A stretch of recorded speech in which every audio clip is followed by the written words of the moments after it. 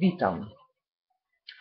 Chciałbym w tym filmie opowiedzieć Państwu o szczególnym y, elemencie y, strukturalnym y, mózgu, który jest odpowiedzialny za przetwarzanie informacji, odbierania informacji z zewnątrz i reagowania na bodźce, które są w świecie zewnętrznym. Tą strukturą jest ciało migdałowate. Ciało migdałowate jest y, taką drobną strukturą, która mm, warunkuje w ogóle y, szybką reakcję organizmu na zagrożenie. Wiele y, swego czasu refleksji przewijało mi się przez umysł mm, dotyczących w ogóle mojego reagowania już od najmłodszych lat na stres, na sytuacje stresowe, na, na różne bodźce, które y, były w świecie zewnętrznym, które są w świecie zewnętrznym.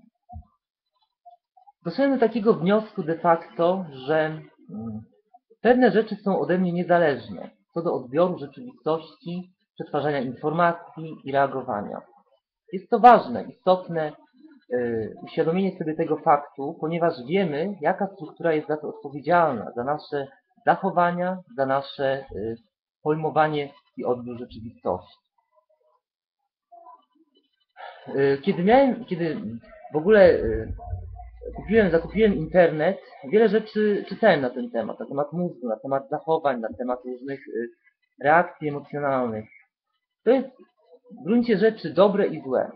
Bo czytając to uświadamiamy się, wiemy to, za, za to, jaka struktura jest odpowiedzialna. Natomiast pogłębiając się w tym jeszcze bardziej, doprowadzamy do tego, że y, to może nam zaszkodzić w nadmiarze. Czyli powinno to być też zrównoważone. Zrównoważone czytanie na ten temat i uświadamianie się w tym, co się z nami dzieje. Z kolei sama nieś- z kolei nieświadomość tego, powiedziałbym, że nie jest tak do końca y, y, dobrym rozwiązaniem. Bo y, intelekt, sam intelekt człowieka i ciekawość, może bym tak też powiedział, doprowadza do tego, że chcemy wiedzieć, co się z nami dzieje. Człowiek y, ma taką naturę, że poszukuje informacji na temat tego, co się z nim dzieje. Ja taki jestem, dociekliwy. To jest, to jest moja natura, która nie jest dobrą może naturą, ale też y, pewnym mechanizmem obsesyjnym, gdzie czytam różne informacje na temat mózgu. Uświadamiając się w tym, y, nie szkodzi mi to tak aż tak bardzo, bo o tym nie myślę. Z kolei, kolei mm, analizując to głębiej, może to zaszkodzić. Mi nawet, y, y, który, wiecie, czytam właśnie na ten temat. Y, Wracając do ciała migdałowatego. Jest to mała struktura anatomiczna, właśnie od- odpowiedzialna za reakcję na silne bodźce, na strach, na lęk, który nas obezwładnia nieraz.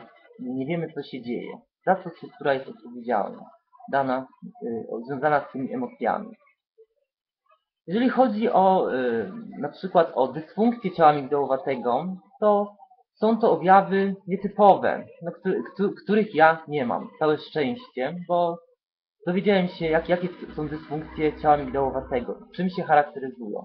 Jest to na przykład y, hiperseksualność, y, która wiąże się z tym, że nie możemy zidentyfikować y, obiektów w czasie oddziaływań seksualnych.